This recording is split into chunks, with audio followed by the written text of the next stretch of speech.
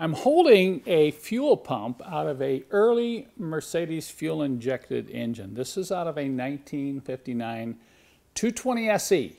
This is that first generation of electric fuel pumps in those early models. If you saw my other videos, I did a, a video on what I call the short pump. This started showing up in the mid 60s. Well, look at the difference. And then we call this the long pump and the short pump, okay? This was on the fuel injected cars from the late 50s to the, the mid 60s. The models varied a little bit right there in the mid 60s, so you'll, you'll have to check. It's pretty easy. You Get under the car, remove that cover over your fuel pump, and you can spot it right away. Do you have the long pump or you do, do you have the short pump? Now, I've done a video series on the short pump I've taken these apart. I've come up with a, uh, with a rebuild kit that you can do this yourself. So I'll put links in the show more description below this video if you're interested in learning more about the short pump and the kit I have available to overhaul it. But in this case, I want to talk about the long pump because it's a little bit different design, but typical of a lot of these early pumps, whether it's short or long, one day this stopped working, just stopped working. So of course when that happens, the first thing you want to do is you want to check uh, your fuse and that checked okay. And, and, of course I got into the car and I was getting power. I could use a 12 volt light or a 12 volt voltmeter and check for power back at the, the two terminals. I was getting power. So, you know, I said, oh no, you know, these, these are really, really expensive pumps. I don't even think you can get them new anymore. So I was a little bit concerned that I've, I, I had a failed pump. But Knowing historically a lot of these pumps, I would say I've taken probably 20 of these pumps apart over the years that exhibit the same problem that I'm going to show you in this video. Very easy to fix, okay? And you're going to be very happy if this happens to your early fuel injected Mercedes.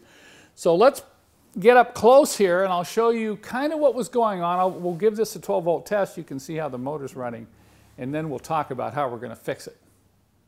When the pump was mounted in the car, of course, I applied 12 volt power to these two contact points and the pump wasn't running. So I removed the pump from the car and I removed the bottom plate here and the impeller. Now watch as I take and apply power. I've got my booster here that I can power this up with. Look at that. I think you can hear it running. It has a nice sound to it. The bearings sound okay. And it starts up and runs very smoothly. Now notice that the motor doesn't have very much torque.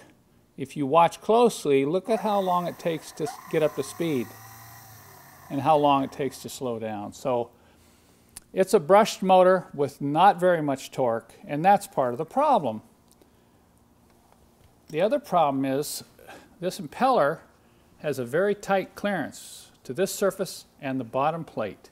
And if you've looked at my other video on the Beast, the 6.3, when I took the pump apart, it had a lot of varnish buildup in here. And the varnish was what was making the impeller stick and preventing the motor from spinning up. Well, in this case, I didn't have varnish, but I have some, it's almost like a calcified material here, both on this bottom plate and right here and you can feel it. I rub my finger across there, that's thick.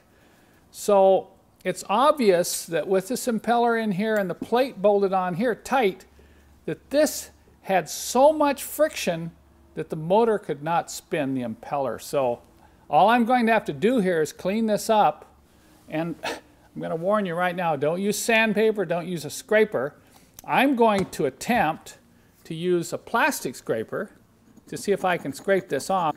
And I'm going to be very careful that I just keep, I'll get this in the solvent tank and try to scrape whatever this is.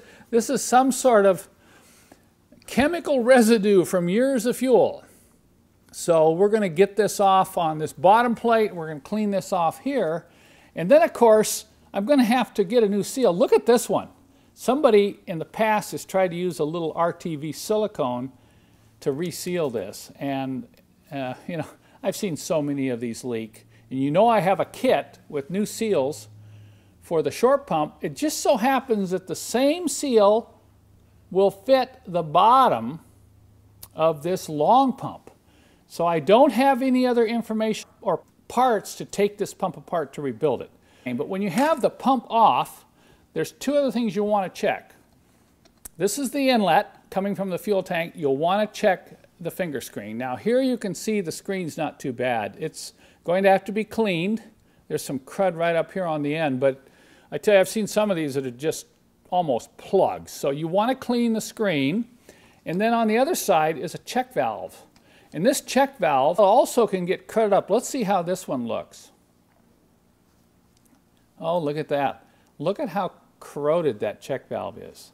Now you can clean these up and actually check them by blowing on them because you can blow one way and you can't suck the other way. If you look right down in here, I've got some cleaning to do down in here too. There's quite a bit of crud. You can probably see it right there. So I'll have to get a brush and really clean that out. And then we'll get ready to put this thing back together. So I'll go ahead and do that now. I'll get everything cleaned up and then we'll come back and I'll sh show you the final results of the repair. It's all back together and ready to test. Let's put some power to it and see how it sounds now. Okay, listen to that. Success. And it didn't cost me hardly anything other than my labor. So this is a classic example of something you could do yourself on your own car and save hundreds and hundreds of dollars. Now it wasn't as easy putting it all back together or even cleaning it up. I had some real problems getting these parts cleaned down here. You know, I tried as much as I could with a plastic scraper and I ended up having to use a single edge razor blade. Now you have to use a brand new one and you have to be very careful. You get a lot of angle to it and you don't push very hard because you don't want to scratch the aluminum. And I had to work that crud off uh, with this razor blade. It was the only way I could get off. I didn't want to take a wire brush to it. I didn't want to take sandpaper to it. But in the end, it worked quite well and I was able to get that cleaned up. So now you can hear you know, the pump's running. One thing, always lubricate the impeller. You'll see that in my other video. Always lubricate that impeller up with oil. Lubricate the O-ring. Now let's talk a little bit about that O-ring. I may have jumped the gun. Look at the one I pulled out. It wasn't even an O-ring. Somebody had just put in a whole bunch of RTV silicone and it was actually working. The pump was not leaking. So good on him for a successful repair, but I don't really recommend that. And when I went to install the O-ring from our short kit, guess what?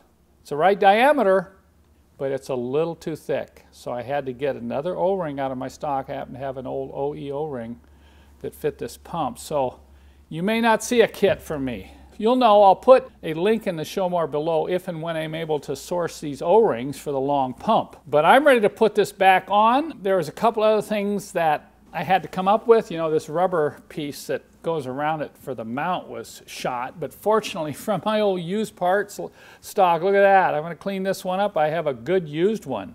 So that's going to solve that problem. And in closing, there's a couple other things I want to say about these pumps from a preventative standpoint. Look at this one. Look at how badly scratched that is. Now that's either from a lot of contamination in the fuel pump and the finger screen getting torn or just not getting installed properly.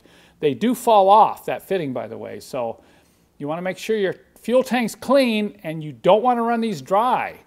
If you run out of fuel and just let the pump run and run and run, you will see this type of scoring. Now, I don't know at what extent is the scoring going to be too bad, but uh, that's not a good sign. And you can see this O-ring here. Look at how flat it is. Totally flattened out over the years. So this one was probably leaking. And of course, look at the hoses. Anytime you work on these old pumps, and I'm going to repeat anytime, plan to replace the fuel hose. Look at how stiff that hose is. And if I, if I twist it, you know, it'll probably break off. And you don't want that happening when you're driving down the road. The uh, other thing, and this is only unique to these early style long pumps, is there is a little keyway right down in here a little teeny keyway. Look, I don't even know if you can hardly see it here. I'm pointing at it. It's got to be installed properly. That keyway has to go on the drive stud first and then the impeller slipped over the top. Look at how small that keyway is. So if you take one of these apart, you better take it apart over a bucket or a large tray so when the impeller comes off, then you're not going to lose that little keyway because you won't even know it exists. The other thing is when you're pulling off the impeller, never pry on one side like this. You will end up breaking off one of these tabs. You need two pick tools, and I'll reach over here and get the second one. If you have a couple of angle pick tools, and you want to do this very carefully, all right? You're going to just take and rock this. See that? And some of these impellers will be very hard to get off because they're kind of almost glued to that shaft. Okay, here it comes. And then when you pull the impeller off, you're going to look down in there. Now this keyway is gone. I don't know why, but there's a little metal keyway that, that resides right in there, so you have to be really careful. So just those warnings, if you're taking your old style long pump apart, you want to do this, I'll try to get on those O-rings so you'll have an O-ring to be able to replace when you do your preventative maintenance on your own pump.